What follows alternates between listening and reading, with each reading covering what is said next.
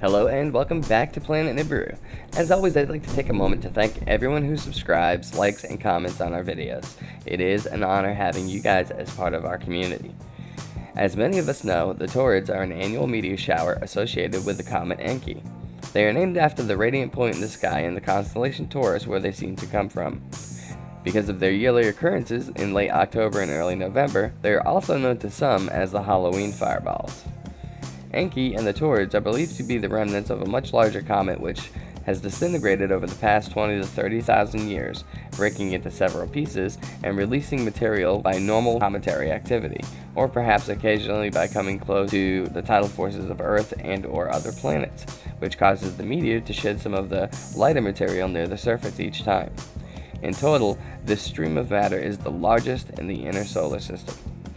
Since the meteor stream is rather spread out in space, Earth takes several weeks to pass through it, causing an extended period of meteor activity.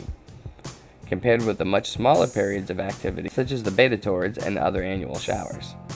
The taurids are also made up of weightier material, more like pebbles, instead of the dust grains that you would see in some of the other showers that we pass through on a regular basis. In general, the taurids give us a nice light show, but pose no real threat to our planet. However, scientists have discovered a new branch of the Taurids meteor stream that could pose a major risk to Earth, with asteroids up to a thousand feet wide flying past us every few years. The Taurids meteor shower peaks every October and November, producing an annual display of shooting stars as the planet passes through the stream. Meteor showers displays happen when bits of cosmic debris enter Earth's atmosphere and burn up in the sky.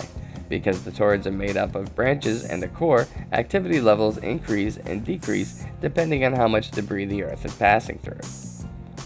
Mostly, the meteoroids are about the size of a grain of sand and pose no risk at all. However, if a large enough asteroid enters the atmosphere, instead of disintegrating, it would pass through and hit the Earth's surface. A stark reminder of the risk posed by some of these asteroids and meteors came in 2013 when the 66 foot wide Chelyabinsk meteor fell over Russia's southern Ural region. A team of researchers from the Czech Academy of Sciences in the Czech Republic has now found evidence to suggest that Earth is at greater risk of being hit by an asteroid than we previously thought.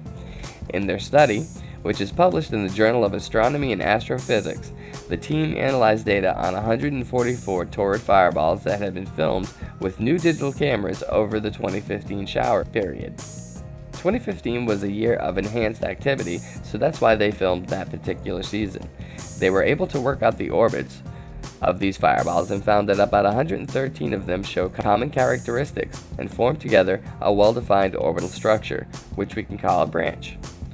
This branch was found to contain at least two asteroids with diameters of between 650 and 980 feet.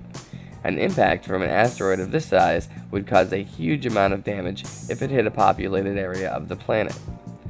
The team also found that the branch likely contains numerous undiscovered objects that are at least 30 feet wide. The branch is not new, it has been passing by the Earth every few years ever since it was formed, probably around a thousand years ago. However, now that we know it exists, the researchers say we need to carry out further studies to better understand this real source of potentially hazardous objects. In an email interview with Newsweek, study author Jiri Borivka says that at the present they do not have enough data to quantify the risk that the branch poses to Earth. A systematic search for asteroids within this newly defined branch will need to be conducted in order to find the size, frequency, distribution, and the totally understand the large bodies within the branch. The impact risk increases during encounters with Earth and this new Taurid branch. Their findings come just weeks ahead of Asteroid Day, which is June 30th. This event, first held in 2015, is a global awareness campaign to highlight the risk that asteroids pose to Earth. Scientists estimate we have only detected around 1% of the 1 million asteroids that have potential Earth impact. Launching the event in 2014, astrophysicist Brian May said, The more we learn about asteroid impacts, the clearer it becomes that the human race has been living on borrowed time. Scientist Jerry Borivka says that the latest findings should serve as a reminder of the importance of identifying asteroids that could impact the planet adding that she hopes scientists will turn their attention to the Taurids meteor stream in the future. So far, the search for hazardous asteroids has been done all over the sky.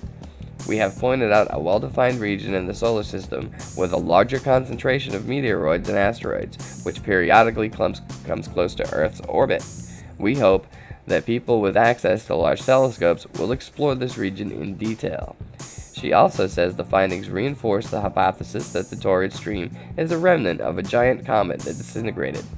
Some of the debris from this event is thought to have struck the Earth and has been connected with at least one catastrophic event in Earth's history.